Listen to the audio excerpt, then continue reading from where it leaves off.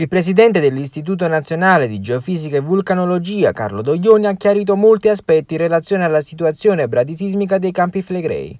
Per ora non c'è nessuna evidenza di risalita del magma, ha detto dinanzi alla Commissione Ambiente. L'istituto lavora 24 ore su 24 e questo vulcano è tra i più monitorati al mondo. Parole dunque rassicuranti per i tanti residenti della zona flegrea che da mesi si ritrovano spesso ad essere svegliati da scosse di media entità.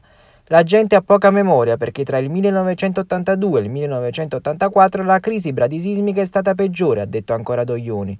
Un problema invece su cui concorda l'esperto è quello del sollevamento del suolo, che ha raggiunto un picco di 4 cm nei mesi scorsi.